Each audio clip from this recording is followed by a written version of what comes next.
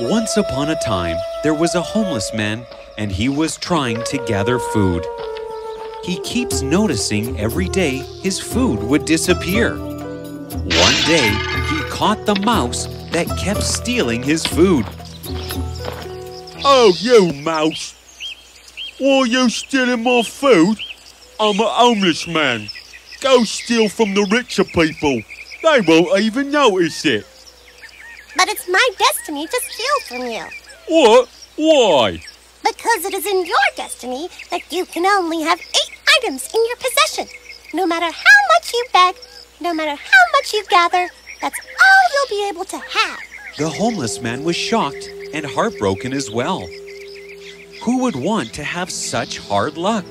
Why is that my destiny? I don't know that.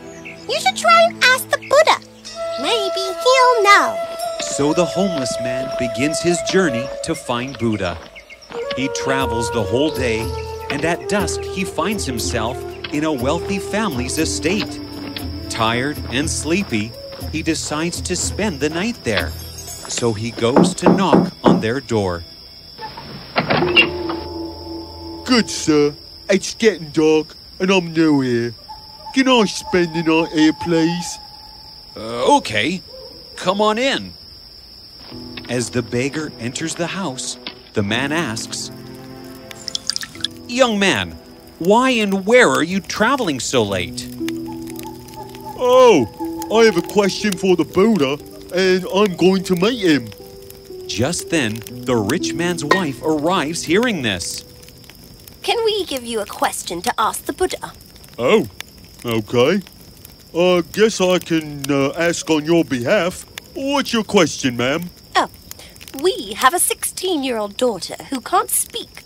We just want to ask what do we have to do to have her speak? So the next morning, the homeless man thanks them for shelter and assures them that he would ask their question to Buddha. Farewell. And he continues his journey and sees a sea of mountains that he has to cross. Oh, Lord. How do I cross this now? He climbs up one mountain and he meets a wizard. Dear sir, can you help me cross this? Hop on! Beggar hops on the wizard's staff and sits behind the wizard. The wizard uses his staff to take the young man and himself and flies them across the sea of mountains. As they fly above the sea of mountains, the wizard asks the young man, Where are you going? Why are you deciding to cross these mountains? I am going to meet and ask the Buddha a question about my destiny. Oh, really? Can I please give you a question to ask the Buddha? I've been trying to go to heaven for a thousand years. According to my teaching, I should be able to go to heaven now. Can you please ask the Buddha what do I have to do to get to heaven? Of course, I'll ask your question for you.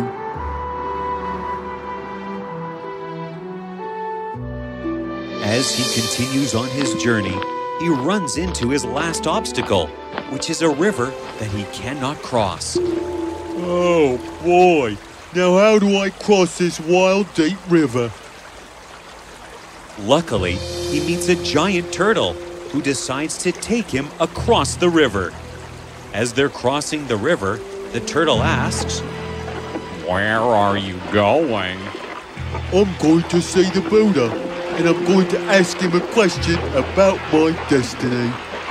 Would you please ask a question for me?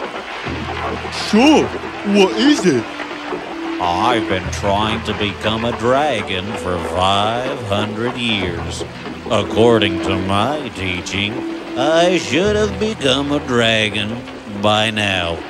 Can you please ask the Buddha, what do I have to do to become a dragon? Thank you, dear turtle, for taking me across the river. You are welcome. And don't forget my question.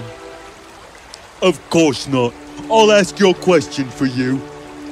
The homeless man continues his journey to seek Buddha, and he finally reaches where he resides. The beggar stands in front of the monastery and takes a deep breath. Oh, here I am, finally meeting the great Buddha. So the homeless man walked in, spirited and excited, ready to ask his and the others' questions.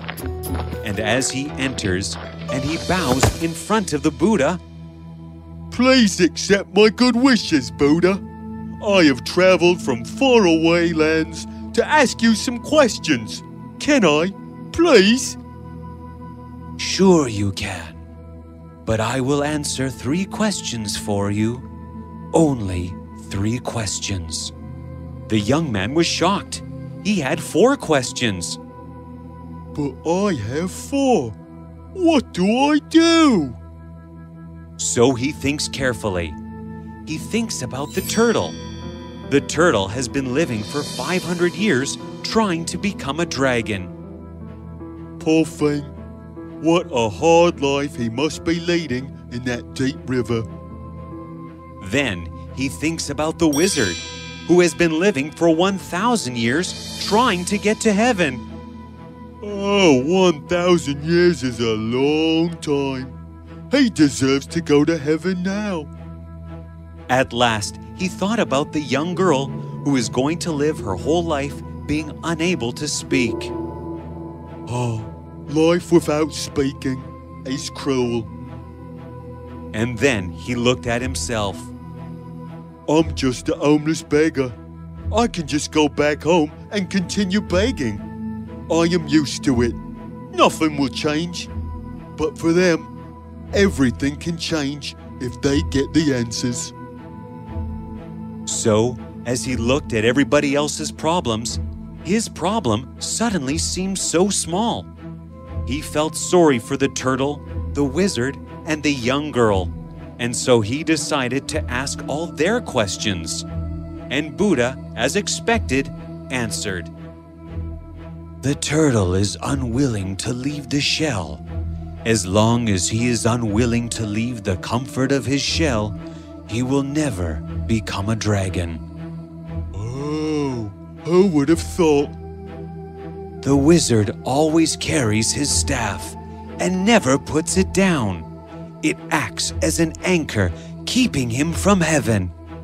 Oh, I will tell him that. And what about the girl? As for the girl, she'll be able to speak when she meets her soulmate. Thank you, oh great Buddha. Buddha looked at him and smiled. The homeless man bowed to the Buddha and went on a journey back home. He reunites with the turtle. Did you ask? Oh, yes. You just have to take off your shell and then you become a dragon. The turtle then takes off his shell, and inside the shell were priceless pearls found in the deepest parts of the ocean, and he gives them to the homeless man. Here, you have them. It's my thank you. I no longer need this because I'm now a dragon. Thank you, kind man. And he flies away. The homeless man reunites with the wizard on top of a mountain. You just have to put down your staff and you'll be able to go to heaven. Really? That's what Buddha said. So the wizard let go of his staff by giving it to the young man and says thank you and then ascends to heaven. Farewell, young man. Be good. The young man now has wealth from the turtle and power from the wizard. He goes back to the family that gave him shelter. They were very happy to see him back and expected an answer. The great Buddha said your daughter would be able to speak when she meets her soulmate. And at that moment, the daughter came downstairs and spoke. Hey, is that the man that was here last week? The young girl and her parents were shocked. They looked at the homeless man He was the girl's soulmate. The parents fixed their wedding and they lived happily ever after. So remember, friends, all the good you do in the world will come back to you.